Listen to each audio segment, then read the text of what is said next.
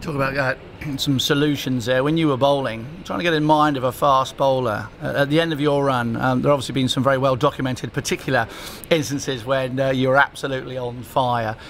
What, what, sort of things were you thinking about? Anything at all? Anything particular, you know, part of the pitch to look at, or how batsmen played?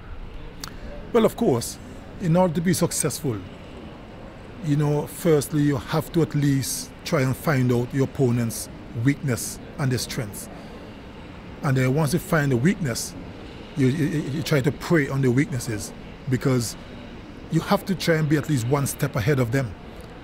You know, and it should not take you too long to know the strength and weakness because by the time you find out that if it's too long, they're probably 100.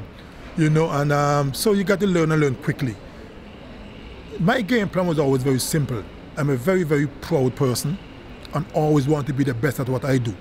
And I want my team to be the best and I'm also an aggressive person by nature. So my aggression is not something that you can learn. It's just it's a part of me.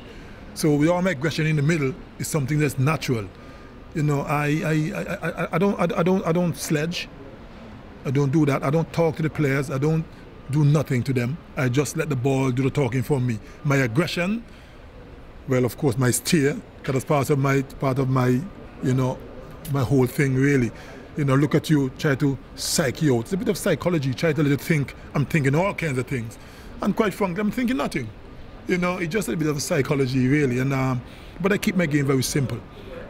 But um, you know, because I like to win and the kind of pride I have in myself, you know, that those are my driving force to be successful.